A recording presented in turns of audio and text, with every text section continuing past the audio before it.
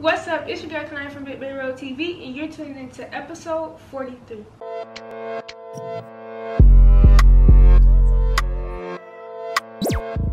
What's up, you guys? Welcome to Baketober 2022.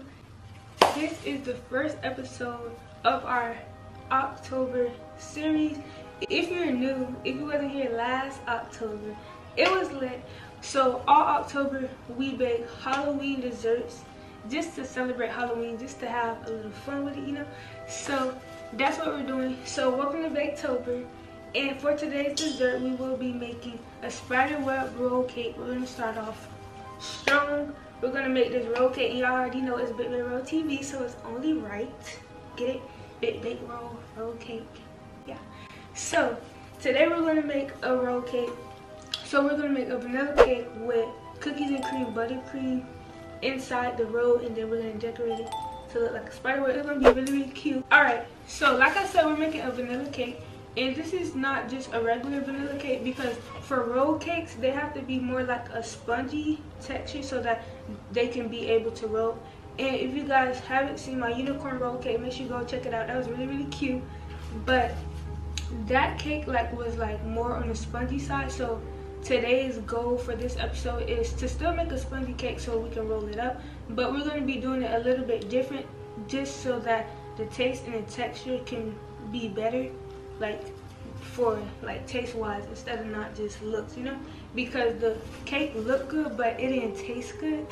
It tastes like it was too spongy. Like it wasn't like a nice cakey texture that i know people like to eat so that's today's goal. But first things first we're gonna start with six eggs yeah i know that sounds like a lot but like i said the cake has to be able to roll so this is gonna help the cake roll so we're gonna start by cracking six eggs into our bowl and whisk it up, whisk, whisk, whisk, until really fluffy. And then we're going to slowly add in our other ingredients, which is a half a cup of vegetable oil and one cup of water. And then, of course, we have our vanilla cake batter. Comment down below if you guys are excited for Halloween. Like, Halloween, like, is always fun for me. But, like, this year, like, I'm, like, really excited to be honest, I don't know why I'm this excited. I've been seeing like people decorate their house rooms and of course y'all know I've been seeing the Halloween desserts on Instagram. So I feel like that's what's really getting me excited for it. We shall see what happens but yeah I'm really excited. Like I said I've been seeing like people decorate their house and rooms it just looks so cute. I think I'm gonna decorate my room next year. I'm kind of late. Well, I'm not late actually. I can still decorate it because like it just turned October. But I don't know. It just looks really nice.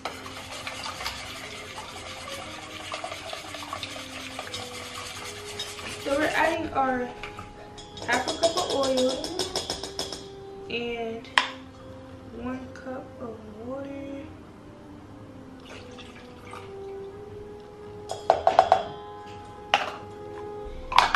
And we're gonna give that a slight mix and then we're gonna add our cake mix.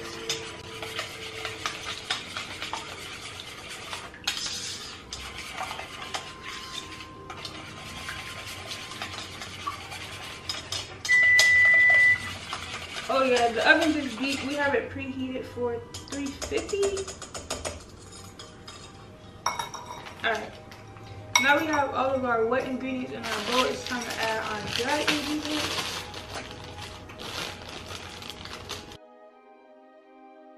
I really have some like lit, lit, lit, lit, lit desserts in mind. So make sure you guys are tuning in, subscribe, have your notifications on so you can get notified every week. Last year we was lit, but this year we're coming 10 times harder, like 10 times harder, like 100 times harder. Alright, so we have our cake mixture and now what we're gonna do is we're just gonna make sure all of the cake mix is mixed in And we're gonna add like, not that much, probably just like a quarter of our cake batter into a bowl to color it black.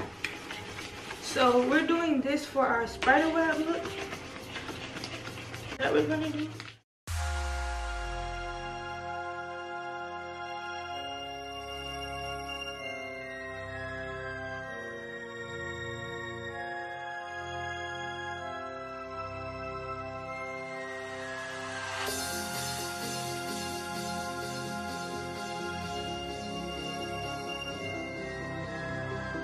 This is a Wilton 4 tip by them. It's like just a really small hole. And it's the perfect size to do our spider web, okay? Okay,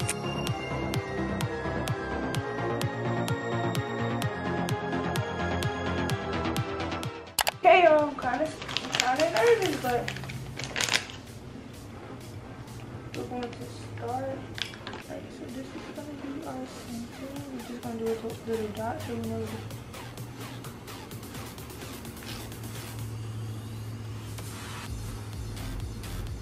Oh, okay.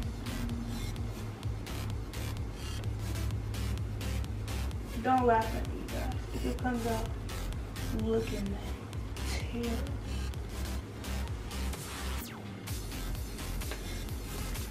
And I'm doing this freehand. She had like a paper, but I can't do a paper because I'm not using parchment. This is freehand, so I'm trying my best.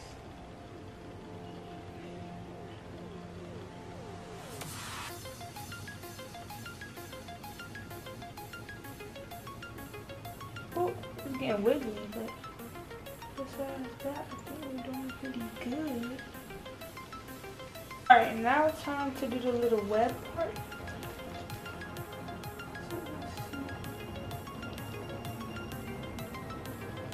Oh. Yeah, this is the part that's gonna get me.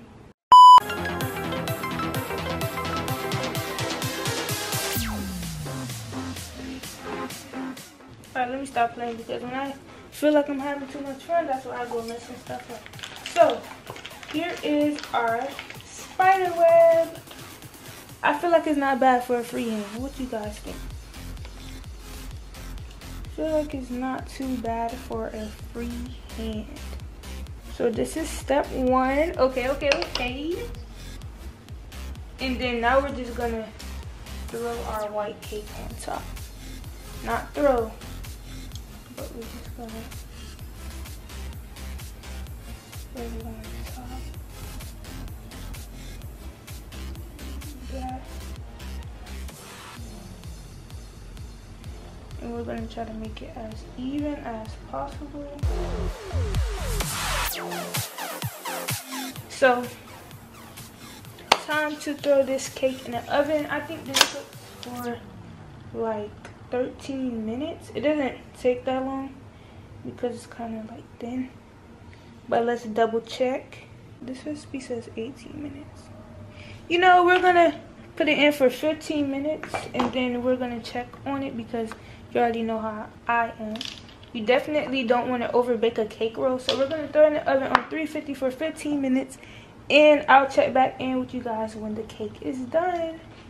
Alright y'all, so we let our cake cool on the side, completely cool for about 20 minutes. And now it's time to roll it up in our kitchen towel. So we have our towel powdered in powdered sugar, like covered in powdered sugar.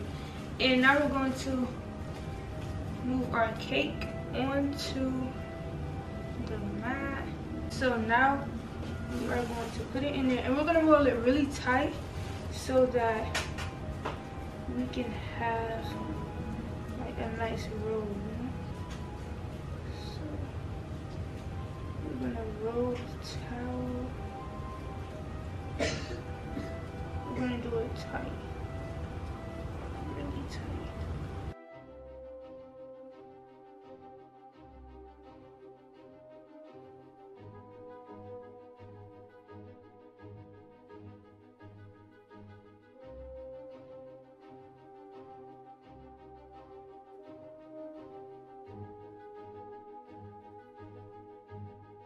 And boom, Big Bake Roll TV. Alright, so now we're gonna set this aside and let it cool. I'm thinking about putting it in, in the refrigerator. I think that's what I'm going to do actually. So like it could cool completely, be firm in its roll. So let's put it in the refrigerator. Okay, moving on to our cookies and cream buttercream. We're gonna start by putting 10 Oreos into a blender get them to a powder consistency.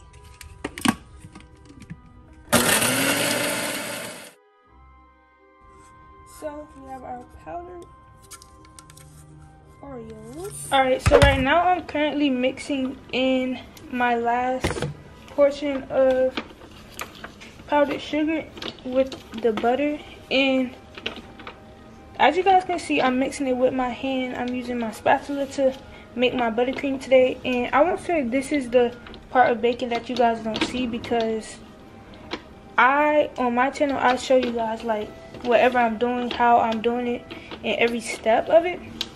But it's just like right now everyone uses a mixer to make their buttercream. I use a mixer to make my buttercream as well but right now my mixer isn't working for some reason and I don't know why but I'm still managing to do it with my hands. So this goes to show that you can still bake whatever I'm baking, make whatever I'm making, buttercream, all types of things with your hands, even if you don't have the same equipment at home as I do. Like, yeah, it's taking me a longer time to make the buttercream, but I'm still making sure I'm getting a smooth consistency. And at the end of the day it's still going to be buttercream you know? And it's still going to come out the same it's just going to take a longer time. Like it would probably only took me 15 minutes to make not even i don't know to be honest but 15 minutes at the most to make this buttercream. But instead it's taking me like 45 minutes to make the buttercream because i'm using my hand. But i'm still gonna have a smooth consistency because I'm making sure all of my ingredients are being mixed in properly. And I'm putting in the work to do it, you know? So, I'm here to say your progress is not going to be the same as everybody else's progress. No matter what it comes to baking, school, your career, a business that you want to start. Like, slow progress is always the best progress because I feel like you learn more like me. As I'm mixing this, I just learned that I have a more thick consistency of buttercream of how I wanted to make, how I wanted to learn to make my buttercream when I'm doing it by hand because I'm guessing that when I use a mixer, I overmix. So I'm not going to say I'm going to stop using my mixer because guess what? Like, like I said, it's a faster process and sometimes you need that faster process. But now I know for next time okay, I need to be watching my buttercream more when it's being mixed, right? So that I can have the thick consistency that I'm looking for. Like, look at this consistency right here. And usually my buttercream isn't this consistency. But when I went to my baking class with my mom, if you guys haven't seen it, I posted on my Instagram, go check it out. But his, like, the um, teacher's buttercream was, like, way thicker and I was like, Mom, his buttercream so thick. I wonder what he did to make it like this and stuff. And now I just learned how to make it like this. And I went to that class a few months ago. I went to that class during the summer.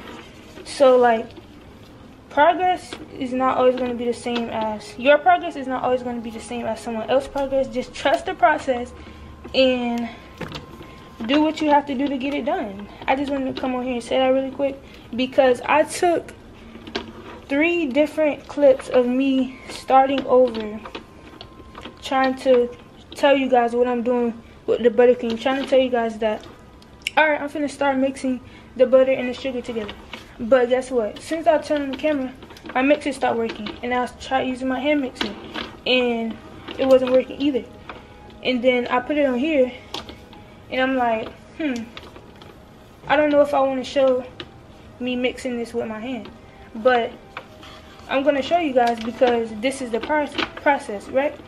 And when I get my big, big, big stand mixer that I want, and when I invest in that to like make everything at a time, it doesn't make everything at a time, but like faster pro process and it's way easier. And I'm not putting as much on my stand mixer that I have now. Y'all gonna see that mixer in every episode. I'm telling you right now, like you're gonna be like, okay, can I hit like okay, like that, but that's my process. That's my progress. That's my growth, right? So I'm just to show you guys that and don't be afraid to show your growth. Like everybody starts somewhere. Like I improved from my first episode up until now. Like, you know, but just wanted to share that real quick because I was just thinking about it while I was mixing up my buttercream but now i'm done. I have a nice thick consistency of buttercream.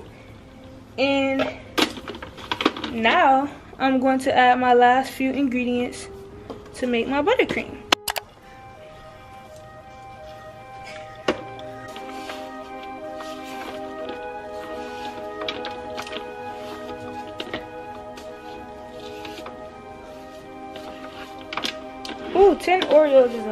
should have added a little bit and see how I liked it. Because I feel like it's going to be chocolatey. But that's okay. It's a vanilla cake, so maybe this will balance it out, you know? And this also gives Halloween, so I'm not going to complain about it.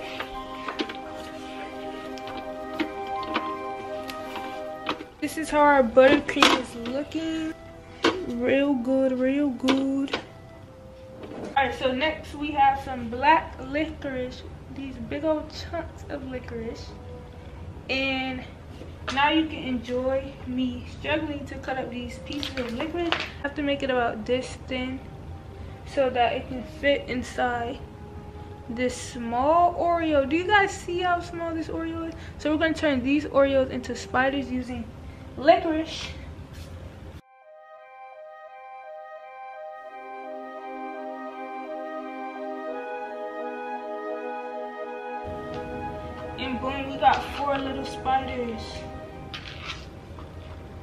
Alright. Now, let's hope that these legs can hold. It is finally time to ice our cake. So, we're just gonna put our buttercream in the middle of the cake and spread it. So we have our buttercream and we're going to spread Hopefully this is enough because I put some to the side in a piping bag to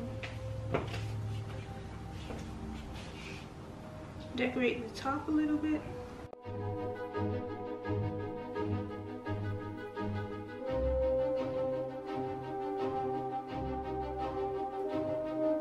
Okay, so now that our cake is fully frosted, I have my hands freshly washed and we're gonna roll the cake up again, but this time without the towel, of course. So again, we're gonna do, oh my God, I just broke it, a tight roll. I broke the cake.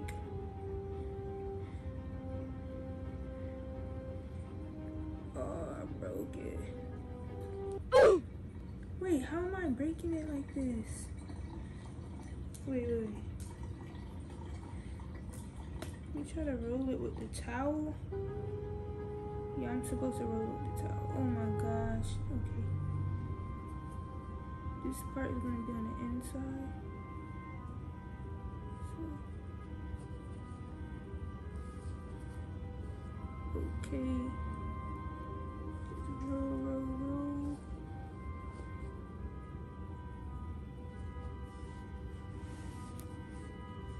Alright, so we're just gonna put this on the top like that and spread it because my little design that I was trying to do is not working.